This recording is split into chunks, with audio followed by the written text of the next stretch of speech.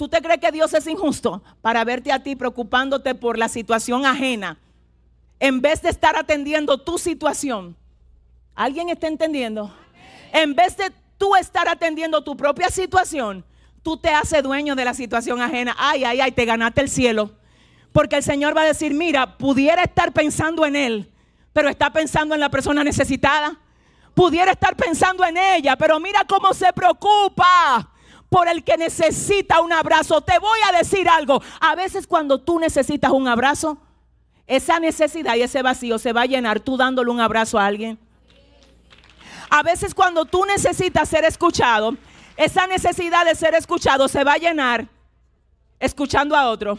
A veces cuando tú necesitas que alguien te fortalezca, esa necesidad de que alguien te afirme a ti, por favor escúchame, se va a llenar cuando tú afirmes a otro. Y tú vas a decir, ¿y por qué? Es que no es un truco.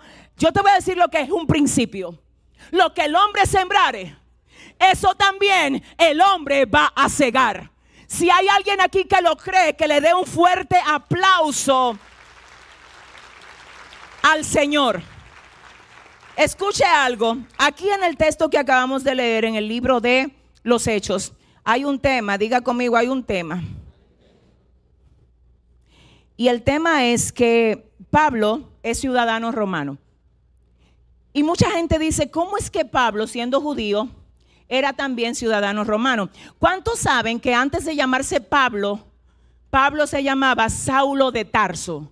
Ok, Tarso era una ciudad importante de Sicilia, que por naturaleza los que nacían en Tarso nacían con la ciudadanía de Roma. Es como, por ejemplo, algunos países, por ejemplo, creo que Chile y creo que Puerto Rico.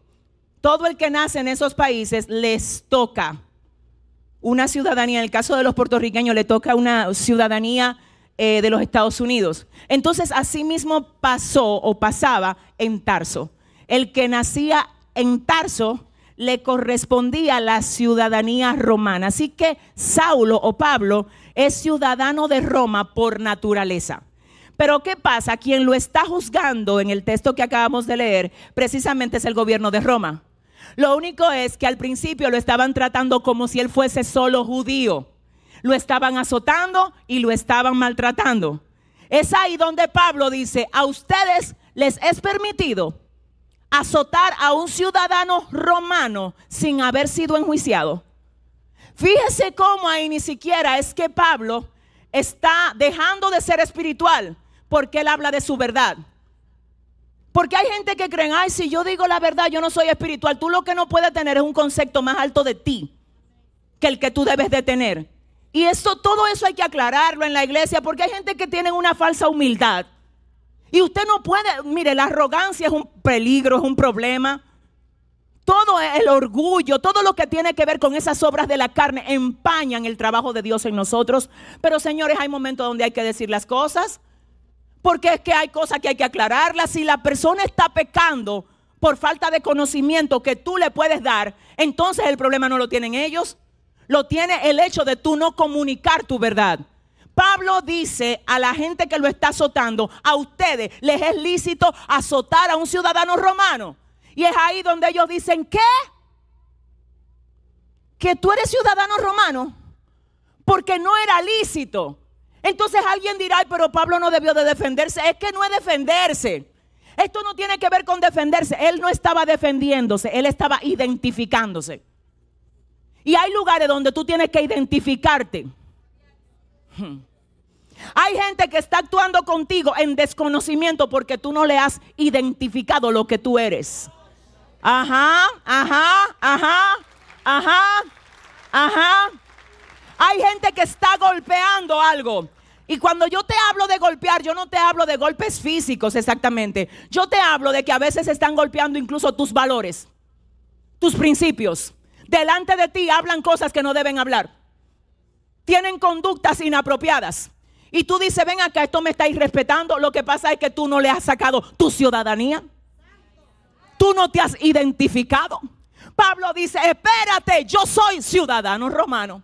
Y usted cuando llegue a un trabajo tiene que decir, yo soy cristiano.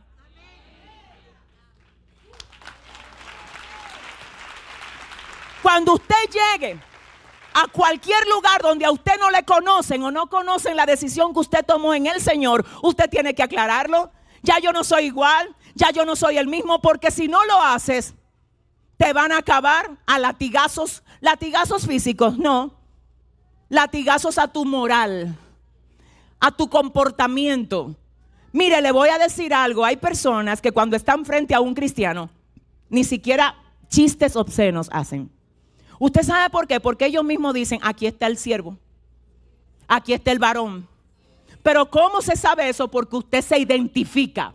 No tenga miedo de identificarse. No tenga miedo de decir lo que usted es.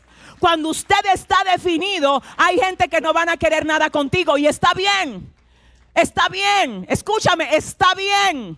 Porque tú no estás hecho para caerle bien a todos. No todo el mundo tiene que conectar contigo y tú tampoco necesitas que todo el mundo conecte contigo.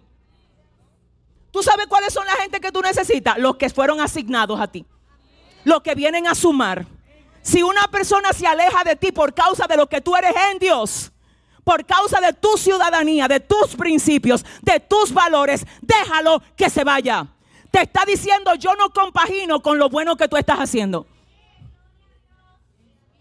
A mí no me parece que está bien la, la mejora que tú le has hecho a tu vida. ¿Tú sabes lo que te está diciendo con esto? Yo no voy de acuerdo con lo bueno que tú estás haciendo, yo voy de acuerdo con lo malo.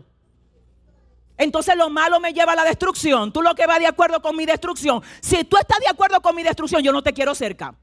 No importa quién tú seas. No, si le vas a dar ese aplauso, dáselo fuerte al Señor. Dáselo bien a tu Padre. Gloria a Dios.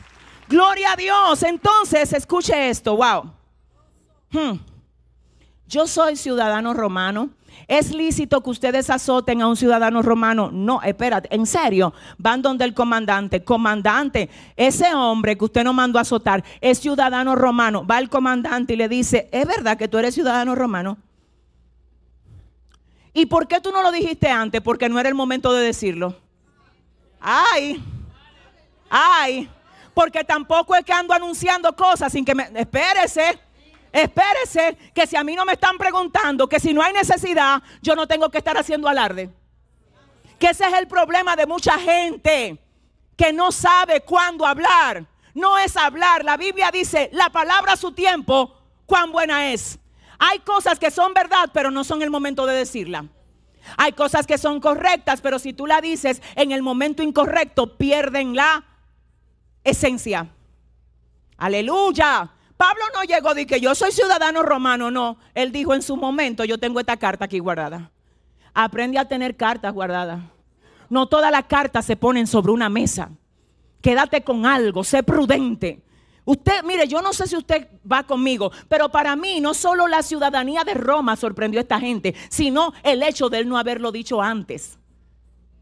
Porque él pudo haberlo dicho antes, pero no lo dijo antes quédate con algo dentro. No todo se, no todo se dice de una vez. Ay, yo soy de aquí, yo soy de allí, yo sé esto, yo sé. No, tranquilo. Que, que cuando llega el momento, cuando llega el momento, ay Dios mío, te van a respetar no solo por lo que tú eres, sino por la manera como te manejas. ¿Alguien está entendiendo? ¿Es verdad que tú eres ciudadano romano? Le preguntó el comandante. Sí, lo soy. Ay, espérate, ¿cómo tú adquiriste esa ciudadanía? Porque a mí, Oiga eso, el comandante ahora que lo mandó a azotar dice, a mí me costó muchísimo dinero tenerla. Pablo dice, a mí no. A mí no, porque yo soy romano de nacimiento.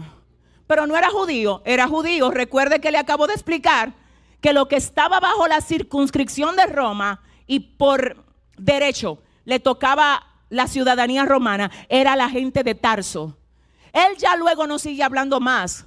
Él no dice que él sabe hablar tanto idioma, que sabe hebreo, que sabe griego. No, porque ahí lo que, lo que necesitaba era decir que era ciudadano romano. Era nada más ciudadano romano, hebreo de hebreo.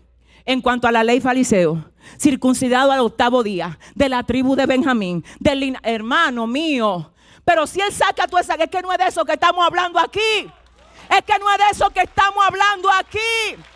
Es que, es que la palabra a su tiempo, no, si le vas a dar ese aplauso, si le vas a dar ese aplauso, es la prudencia, es la prudencia. ¿Alguien dice amén aquí?